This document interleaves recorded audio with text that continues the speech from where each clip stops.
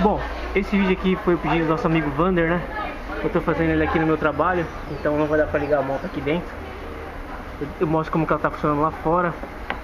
Bom, aqui tá o, o, o coletor, né, que o nosso amigo Juca fez. Ele cortou esse pedaço do, de um coletor de CB 450 normal, né? Colou e emendou. Tá, trocou os parafusos, né? Colocou um parafuso provavelmente mais longo em aço inox também. Isso faz com que o carburador. Deixa eu.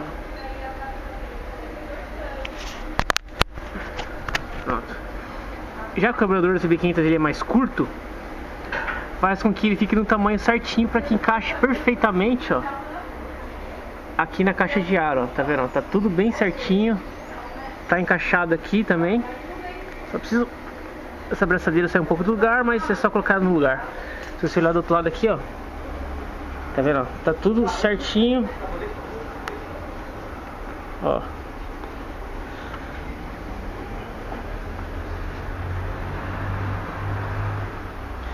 Ah, o cabo do acelerador não deve ter muito segredo para vocês, né?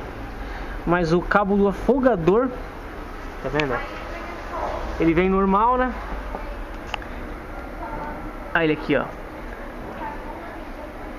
O que que o Juca faz? ele corta, faz umas adaptações aqui no suporte do, do carburador CB500 para poder prender o afogador. Tá vendo? Ó? Foi travado aqui um, um sisteminha ó, que aciona o carburador, ó, o, o afogador. Eu vou puxar aqui, ó. Vou puxar aqui, tá vendo? Ó? Aí se eu solto ele não volta por causa, por causa dessa curva aqui, mas quando eu empurro Ô, Tona, fica quieto aqui que eu tô gravando aqui, beleza? Não atrapalha não. Aí quando eu empurro aqui, ele volta. Tá entendendo? Então eu puxo, se eu solto ele não volta. Mas se eu empurro, do... aqui ó. Tá vendo? Ele não voltou. Mas eu empurro com o dedo mesmo, bem, bem leve ó. Ele volta todinho. Funciona normal, normalzinho. Já que eu rodo muito pouco com a moto, ah, eu chego de manhã, levanto o afogador e dou partida, né?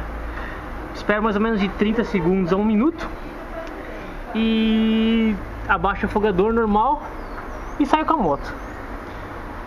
Ando com ela devagar no começo, né, até o motor esquentar, depois já ando normalmente, como fosse o carburador original mesmo. Aquelas mangueiras de água lá que vem um monte, ó.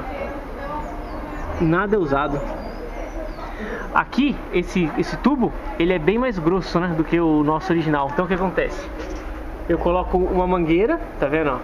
Dessas de, de, de plástico, de borracha, borracha é melhor, né? E o outro vem aqui por cima. É prendido com uma braçadeira, ó.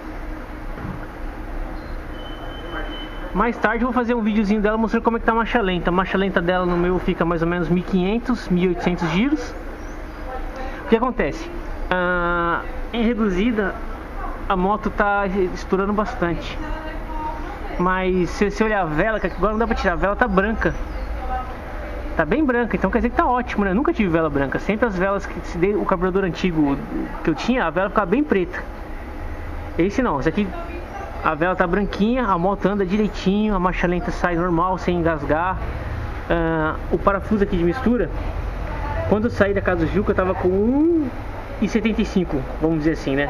Uma volta e três quartos. Aí estourava demais. Agora tá com duas voltas e meia de cada lado. Assim faz com que estoure menos.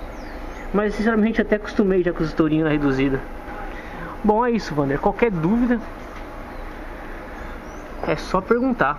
Vou mostrar aqui mais uma vez o, o afogador. Ergueu. Tá vendo? O sistema dele é duplo, né? Já abre do outro lado lá também. Abaixei e voltou. Tá vendo? Esse aqui eu acho que com cabo de um afogador mais longo, que a curva aqui, ó, tá bem, bem... Se uma curva fosse mais aberta, eu imagino que ele voltaria sozinho com a própria mola. Quem sabe um, alguém colocar um cabo de afogador mais longo e testar poder ver como é que fica. Beleza? Qualquer dúvida aí... Ai, cacete. Qualquer dúvida que o pessoal tenha, É só perguntar. Beleza? Aqui, ó, a emendinha, tudo fechadinho, ó. Bem presinho. Beleza? Abração pessoal do fórum aí. Tamo junto aí. Até mais.